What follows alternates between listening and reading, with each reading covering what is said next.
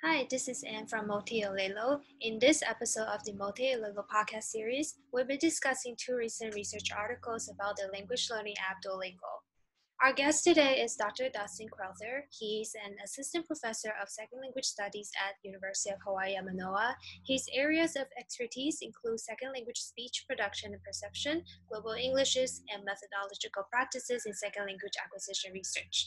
He serves as the TESOL Quarterly's editor for research dissemination and is also an advisor for the Multiolelo Initiative. Today, we're very honored to have Dr. Crowther come in to discuss two of his recent co-authored papers on the mobile assisted language learning app Duolingo. Hello, Dr. Crowther. Hello, thank you for having me. So I came across your studies about Duolingo, and I think that's very interesting because I read that um, you and your colleagues were actually the participants in the study as well. Can you tell us a little bit about these studies? Sure, I can give you a little bit of framing about uh, the study published in ReCALL, a working paper study, as well as a third study that I wasn't part of the writing process, but came out of a larger uh, project. So you mentioned that in uh, especially the ReCALL study that uh, your audience can see on the form on the screen, uh, it came out of a class project. So we, there were nine of us in total, plus our uh, professor, and basically, we served as researchers as participants, where we were investigating our own learning through the use of Duolingo. Uh, we studied Turkish during the study. Uh, I mentioned uh, there, there, were a few different publications tied to this project.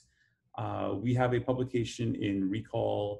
Uh, my colleagues who worked in the project have a publication in the journal Languages, which took a more narrative perspective on the use of Duolingo. And then there is a working paper that I put together with uh, Dr. Kathy Kim and Dr. Shawn Loewen, uh, in which we are sort of looking at the technological side of Duolingo and to what extent the pedagogical approaches were informed by what we know from instructed second language acquisition research. So while the three papers are distinct papers, there is definite overlap between the three of them. So what's in one paper will most definitely inform what are in the other two papers as well. And at the center of these papers is the fact that we were the participants learning through the use of Duolingo. I see. That sounds very interesting. It feels like um, as teachers, we can try try that out with our students as well. Um, so, what were the key takeaways from these studies? Can you tell us a bit about that? Sure. So uh, since the study in ReCALL, the study titled Mobile Assisted Language Learning, a Duolingo Case Study, was the empirical study that we conducted. I can talk about the takeaways there.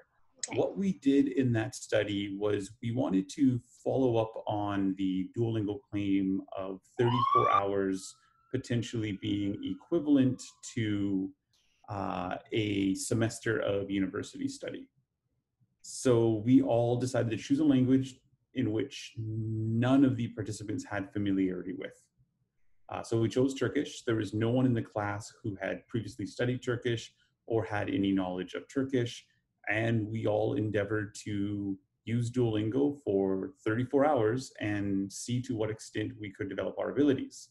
Uh, in order to test this, uh, a colleague of ours who was teaching first year Turkish at our university uh, actually developed a Turkish 101, I think Turkish 151 test is what we refer to it in the study, uh, to test uh, our knowledge. And that test took into account what would generally be taught in a first semester Turkish course, as well as a certain cutoff point on the Duolingo tree. So for those not familiar in Duolingo, you typically move down a topic tree as you learn different grammatical and lexical and even phonological considerations in the language.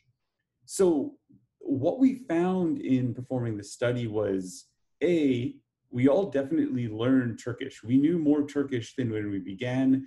And I remember we wrote this in the paper. And while it seems sort of silly to make that claim because you would expect that, it is important that we can document the fact that language learning does occur through the use of the app. One of the concerns is that for most of us, when we completed the study, we, I think only three of us actually, I say three of us because I shouldn't because I was not one of the us in the three, but only three members of the team actually scored high enough on the 151 test to pass the course itself. So our test scores weren't, uh, our test scores through Duolingo Learning weren't aligned with what would be expected of a first year university learner of Turkish based on that specific program at the university that we were at. One of the interpretations we had is that, and this is something that gets discussed in the working paper that's referenced as well, is that for the most part, the activities within Duolingo are really sort of promoting more, I would say, explicit knowledge, right? Uh, recognizing grammatical rules, looking at word order, memorizing of vocabulary. So when we're being tested, right, it's likely more testing our explicit knowledge. And one of the considerations is to what extent in spontaneous communication can we draw upon that knowledge uh, as opposed to what is sort of more automatically available to us. But what is sort of automatically available to us isn't something that Duolingo is focusing on. However, in community-based classrooms that we're seeing more and more, uh, especially in North America, for the way that languages are being addressed, you're going to have more of a focus on that sort of spontaneous usage of the language or use of the language within more communicative uh, activities. So there is a disconnect a little bit from our experiences between how well, you know, we actually did for Turkish 101 based on 34 hours. That that means that the 34 hour study that was originally published, a white paper for Duolingo, focused on a test that focused on this explicit knowledge. So therefore you would expect uh, relatively solid gains in that way. If you focus on sort of these explicit activities promoting explicit knowledge development when you're learning, then a test that is testing that knowledge is going to help in that way. The test we took uh, had questions in that that sort of drew upon both our explicit and our implicit abilities with the language itself. Awesome. So, so oh, sorry, go ahead. sorry, I just in one of the papers in Crowther et al. the uh, working papers, you and your colleagues drew on two frameworks. One is the CALL framework, and the other is the MALL framework. And I was wondering if you could tell us why were these frameworks chosen and what are they about? Sure. The so yeah, in so the paper that I wrote and was published as a working paper uh, in the Michigan State University Second Language Studies uh, program, uh, developed with Kathy Kim, who's now at Boston University, and Shawn Loewen, who was overseeing the project. Uh, one thing to keep in mind here is at the time that we developed this project, right, mobile assisted language learning was was really starting to take off. And we can even say between now 2020 and 2017, which means this project would have been probably 2016 that we were doing data, is already been four years. So, so a lot has occurred in research since that time. So I just want to sort of frame it within that, that timeline of when the study was conducted. At the time, uh, Reinders and Pegrum had a framework for MALL that was focusing very much on the affordances of mobile assisted language learning. So what is it that being able to study a language, for example, using our smartphones, allowed us to do that we couldn't do in the classroom, right? And of course, some of those affordances are, you know, you can access uh, language learning materials basically any place, anytime. So if you look at the ReCALL study, like there's examples of those of us standing in line at a Starbucks using Duolingo, one of our colleagues was on a trip to Africa in the back of a Jeep doing Duolingo in the back of a Jeep in the middle of Africa somewhere. She might have been on safari. I can't remember at this wow. point. So you right? can basically learn languages anywhere then. Yeah, right. So it's it's really looking at these affordances, right? Other affordances, uh, anytime, any place. But now you can go online. So I don't know what a word means. Well, we have access to the internet. We can go and look it up. Something cultural comes up, right? So this is just really, really base level of these affordances. But what the Reinders and Pegrum framework didn't do, at least in our opinion, was really look at the language learning process itself. It made reference to input and a few other key uh, constructs in second language acquisition, but it was more focused on on sort of assessing to what extent the program took advantages of the affordances of MALL. We were interested from an ISLA perspective, right, where we're looking at the systematic manipulation uh, of the mechanisms of learning. Because a program like Duolingo or other programs, Babbel, Busuu, uh, Rosetta Stone, right, in essence, they're making pedagogical decisions to promote our learning. So we are curious to what extent Duolingo was actually drawing upon what we know about the language learning process in making decisions. So Carol Chapelle had a framework that was used for computer-assisted language learning. Uh, and while MALL in some in some writing has been promoted as an extension to CALL, MALL has been promoted as part of CALL. I would argue MALL is something different given the affordances. Uh, however, the CALL framework still gave us a shape that didn't exist in other framework for analyzing it. Right, so this is a case where I would say I don't know if I would say we used Chapelle's framework as much as we adapted Chapelle's framework to analyze to what extent Duolingo was making use of what we know from an instructed second language acquisition uh, perspective. I see. Awesome. Thank you so much. I think this is going to be my last question, and which is very important. What are some of the implications for program development, whether for language learning app development or for when integrating like a language learning app into a foreign into foreign language instruction. Yeah, and I think the main point, this is actually something I was going to mention a, a few moments ago, is uh, programs like Duolingo and I mentioned Babbel, Busuu, Rosetta Stone. Uh, I know there's a few others. They provide these opportunities to, you know, gain quick, uh, in the case of Duolingo, free access to language learning materials.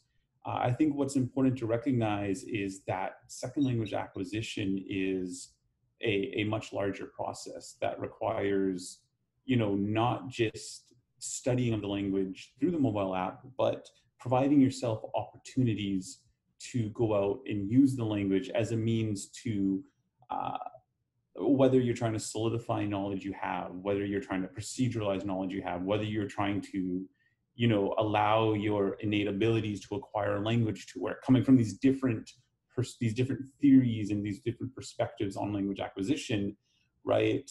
Providing opportunities and recognizing that you know these these tools are great support tools for the process of language acquisition uh, they shouldn't be. And uh, i know uh, Louis von Ahn, I don't know if I said the name right, he talked about this a little bit when he was talking about Duolingo and right that they're not intended to be the be all and end all to learning a language. So to me, I think what's important to note is how do you supplement uh, the study on an app like Duolingo with the other components of language acquisition that we know play an important role in developing your ability to use the language, specifically the ability to use the language during uh, spontaneous communication. Yeah, that is the hardest part of language learning, in my opinion to yes. use something spontaneously in interaction. Yes. Um, right. Any other things you would like to say before we close our interview? I think I would definitely say uh, looking at the area of mobile assisted language learning in general, and especially at these industry based apps, is we are seeing a really promising trend where, for example, Duolingo began very much, uh, you know, drawing upon the knowledge of uh, computer programmers in that. And now we're starting to see them hiring more and more uh, from those with backgrounds in second language assessment, second language, uh, sorry, second those backgrounds in second language acquisition, and those in backgrounds in second language testing and assessment, right? So I think there's expectations at this point that we're simply we're going to keep seeing these apps that are available continue to evolve and improve and provide us with more and more options and I think the challenge that we're going to start seeing is uh, how can teachers make use of these apps as part of their larger curriculums, whether you're bringing them into K to 12 contexts, using them uh, in foreign language classrooms here in the United States, or using them in uh, English as a foreign language context like Japan, China, Korea, other parts of the world. And then how do we determine how they can use them in those contexts And then how do we convey this knowledge to them as well, which I think very much falls in line with the goals of Multi-Olelo in creating this dialogue between researchers and teachers in such a way that uh, allows for this sort of harmonious uh, communication between these different areas that are all important in this process of second language acquisition. Yeah, it's so exciting to see where technology, as it keeps on advancing, what kind of new algorithms will be available to help support better support the language learning process. That's very exciting. And lastly, I just want to maybe advertise Dr. Crowther's website here. If you have any questions, you can check out his um, many, many, many studies published in recent years. And There's also some wonderful scenic pictures of uh, Vancouver, Canada that you're welcome to look at as well on my webpage. Awesome. Okay, thank you so much for um, giving your time to us today to tell us about Duolingo and your paper uh, research process. Thank you so much, Dr. Crowther. Thank you for having me. Thank you.